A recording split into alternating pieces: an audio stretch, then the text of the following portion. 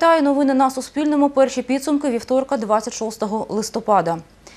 Друге падіння пов'язане з громадським транспортом за останні чотири дні. Учора у Сумах на вулиці Боровій травмувалася 61-річна жінка. Як саме це трапилось, з'ясовує поліція. Через падіння жінка потрапила до лікарні. З журналістами вона сьогодні спілкуватись відмовилась, бо готувалась до операції. 25 листопада поступила до нас хвора з переломом шийки стегнонової кістки і на даному етапі вона готується до оперативного лікування. Така тактика при такому переломі це стандарт. Загальний стан задовільний. Готуємо. Євгенія Токарєва зараз дізнається позицію в цій історії перевізника, який обслуговує маршрут, і що кажуть у відділі логістики. Про це розкажемо у наступному випуску. Минулого тижня у п'ятницю на вулиці Харківській у Сумах на зупинці громадського транспорту також травмувалась жінка пенсійного віку. За однією з версій, яку вивчає поліція, вона випала з маршрутки, коли машина починала рух. Лікарям врятувати жінку не вдалося. Вона померла в реанімації наступного дня. Поліція відкрила кримінальне провадження, тривають експертизи, автобус арештували. Жодного оштрафованого водія за відсутність у салоні автокрісла. Таку інформацію мають в управлінні патрульної поліції Сумщини на сьогодні. Нововведення набрали чинності 20 листопада. Олена Рашевська розкаже більше. У Дар'ї Черенщикової двоє дітей. Вона обладнала своє авто спецзасобами кілька років тому перед поїздкою до Європи. Дар'я розповідає, що безпеку її авто забезпечує базовий ремінь. Потрібно тільки адаптувати його під розміри дитини.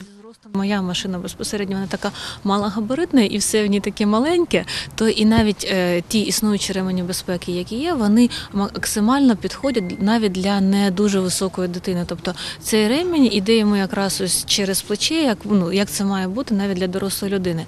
Е, Але з іншого боку, для того, щоб ну все ж таки зробити більш безпечним перевезення дітей, я ще під попу підкладаю подушку для того, щоб він просто став вищим. Ця конструкція називається адаптер е, для ременя безпеки.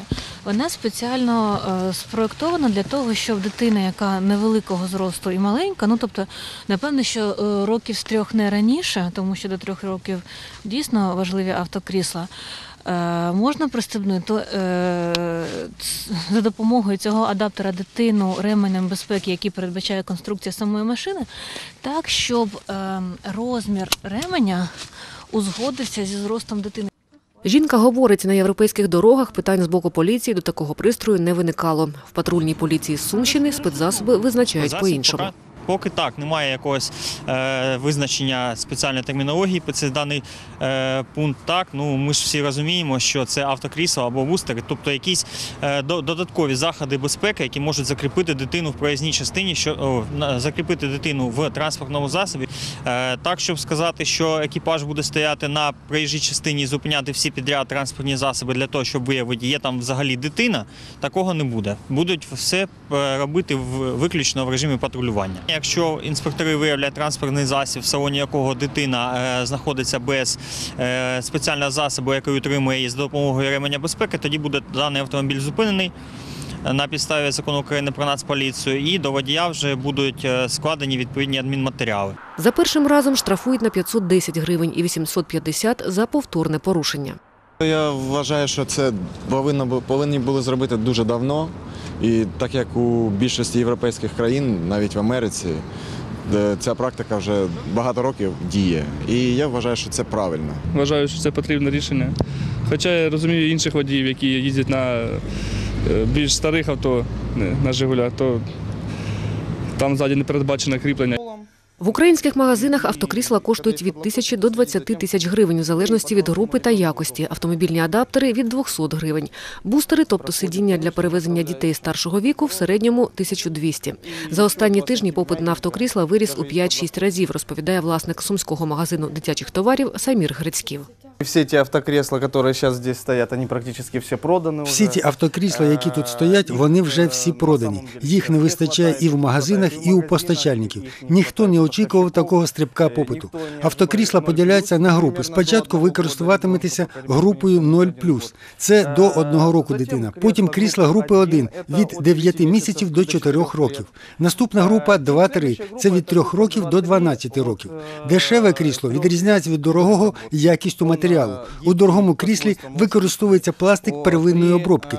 Він еластичний. При зіткненні він не ламається, а деформується. Ломается, не трескается, а деформируется, поглощая энергию удара. В цих правилах зазначено про те, що спеціальні засоби мають бути. І не конкретизовано що. І я впевнений, що так вірно зроблено зі сторони законодавця. І саме на національну поліцію їм дано повноваження визначати. Чи забезпечують у ці спеціальні засоби, які використовуються в автомобілі, безпеку дітини. Що це буде? Автокрісло буде, чи щось інше буде? Чи дитину будуть тримати на руках і паском безпеки буде пристягнуті одночасно? І дитина, і батько буде пристягнути, або там матір. Це буде вже поліція буде визначати, чи забезпечить це безпеку дитини, чи не забезпечить. Дія закону розповсюджується на всі транспортні засоби, в яких заводом передбачено встановлення ременів безпеки і не поширюється на громадський транспорт. Ми зателефонували до двох служб таксі у Сумах. За поїздку з автокріслом там пропонують доплатити. Я буду їхати з дитиною. Скажіть, будь ласка, чи буде в автівці автокрісло, чи треба мені за це буде ще доплатити якісь гроші? Доплата Да. плюс 20 гривень, але я не будем підбирати, не могу вас орієнтувати, буде ли машина. Олена Рашевська, Маргарита Лисенко, Володимир Сурков. Новини на Суспільному. Суми.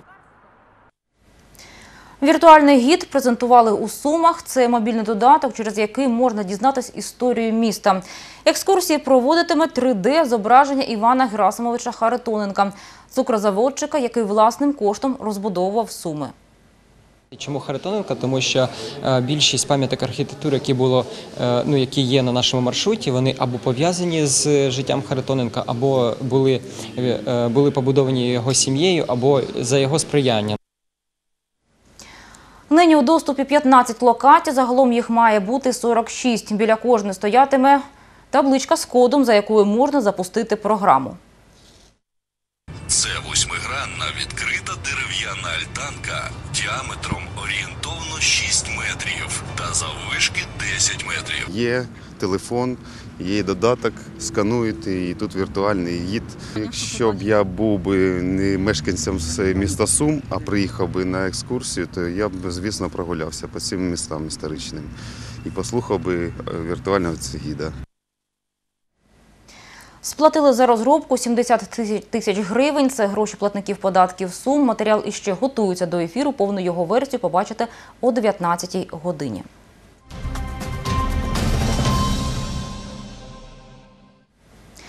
У шості відбувся 13-й міжнародний турнір з індор-хокею пам'яті Олександра Федоренка. У змаганнях взяли участь 9 команд із України та Білорусі. На поле вийшли спортсмени 2003 року народження, юнаки і дівчата. У фінальній групі з трьох команд, які вибороли однакову кількість очок за найкращою різницею забитих і пропущених м'ячів, перше місце посіла команда Авангард Олімпія з Вінницької області, друге у господарів команди Барса 1 третє місце має команда юнаків Сумської школи Олімпійського резерву Динамо.